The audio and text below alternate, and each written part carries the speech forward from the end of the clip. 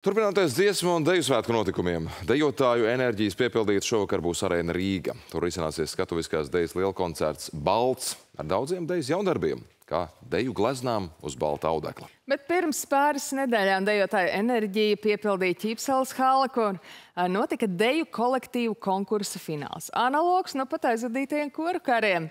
Par dejas enerģētiku un šo svētku atslēgas notikumiem saruna ar tautas deja ansambļu dances vadītāju Rolandu Irševski. Labrīt! Labrīt! Labrīt! 17. jūnijas varbūt nedaudz tomēr at atliksim atpakaļ uz to notikumu, kas bija izstāžu centrā Ķīpselā, deju kolektīvu konkursu finālā. Vai tas jums šķiet jau nu, sen vai burtiski tā kā vakar, kā, kā tās emocijas saglabājušās? E, gribu teikt, ka emocijas ir tādas, ka viņas saglabājušās ir šodien. Un es domāju, ne tikai man, bet visiem dejotājiem, jo šis konkurss e, bija ar tādu milzu enerģiju pielādēts, kad eh, man pat grūti pateikt, vai tas bija konkurss. Tāpēc, kad visi dejotāji bija kā viens, visi staroja, un līdz viņiem bija skatītāji. Un tāpēc viņš izvērtās par tādu. Varbūt tas ir pēc tā ilgā laika, ka mēs nebijām tik bieži tikušies kopā. Bet būtībā Visi bija ļoti gandarīti, priecīgi un rādīja, kas katram ir uz sirds jāsaka. Un tas bija ļoti, ļoti emocionāls pasākums. Bet nu, tomēr sacensības elements bija ļoti nopietns un dances triumfē.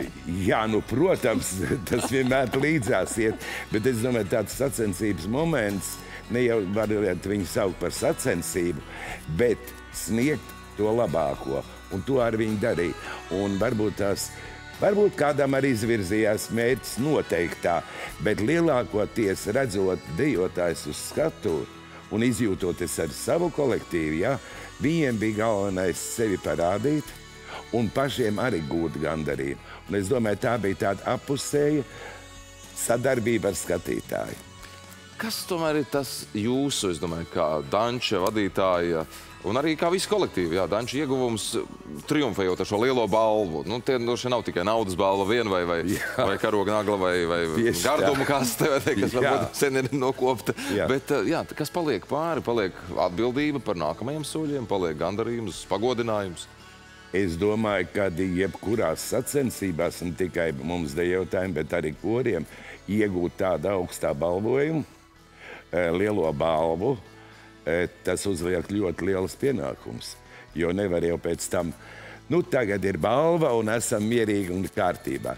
Tā ir jānotur un tas jātur katru dienu un viss tā meistarība un viss attieksme pret deju kā tādu ir jādomā līdzi, jo ir jau svētki pēc tam arī. Un ir grūti, ikdiena. Paši sev grūti dzīvi esat sataisījuši. Varētu nu, no vienas puses varētu teikt, jā, tā varētu mierīgi justies, bet tagad nekā ir jānotur. Nē, viņiem tas problēmas eh, danci nesagādā. Viņi vienmēr cenšas un dara un domā līdzi, ko viņi grib skatītājiem pastāstīt. Bet nu skaidrs, ka tas viss prasa daudz enerģijas, daudz laika, daudz uh, apņemšanās, milzīgi gribas spēku noteikti.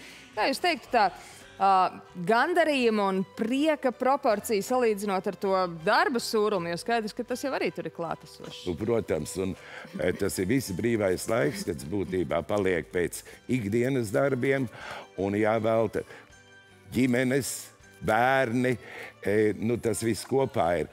Un e, man ir liels prieks par saviem dejotājiem, gan vidējiem, gan jauniešiem, kad viņi ir gatavi veltīt šo laiku tautas dejai.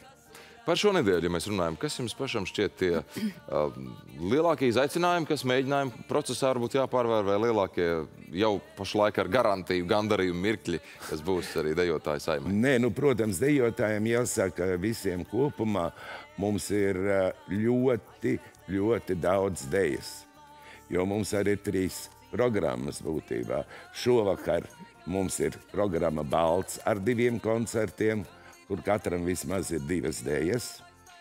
E, tālāk mums seko jau mēģinājuma process Daugaus stadionā, kur būs mūžīgais zinējs, kur jau deju skaits palielinās krietni. Un e, šajā, šajos svētkos e, dejotājiem ir uzticēta ļoti atbildīga lieta būt kopā ar koriem un e, ieņem diezgan nozīmīgu vietu noslēguma koncertā ar, gan ar novadu programmu, gan ar savu kopējo programmu ar koriem. Kā jūs vispār pats skatāties uz šo kora un dejotāju integrāciju? E, Nu, jāsaka tā, ka e, es skatos ļoti pozitīvi, e, bet nu, mēs esam kopā koncertējuši jau daudz, daudz gadus atpakaļ, teiksim, ar kori Juventus. Mums pat bija vēl tagad jūnija mēnesī kopīga uzstāšanās. Un es domāju, ka tas tā parāda visu kopējo dziesmu un svētku tādu saliedētību, kopā būšanu.